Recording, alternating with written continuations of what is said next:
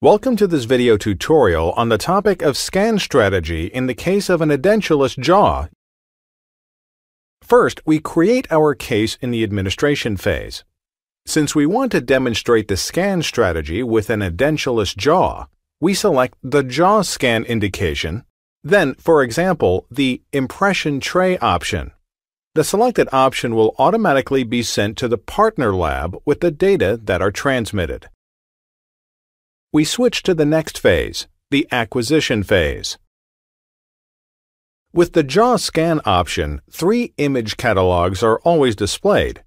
The respective jaw should be scanned. The other image catalogs are optional. For our example, we scan the edentulous lower and upper jaw, but first we would like to demonstrate the scan strategy with an outline. The starting point is incisal, and we tilt the scanner by approximately 60 degrees in oral direction. Then we scan in one of the two directions, from incisal to distal. We start again incisal, tilt the scanner again approximately by 60 degrees in oral direction, and scan the other side.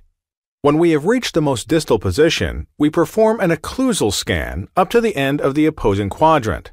Finally, we tilt the scanner by approximately 60 degrees in buccal direction and scan again up to the end of the opposing quadrant. Next, you will see a short video sequence regarding this procedure using the upper jaw. We start incisal and scan oral to distal. We perform the same procedure on the other side. Now we perform the occlusal scan. Finally, we scan the buccal area as explained earlier. Since we scanned the upper jaw, we also include the palate.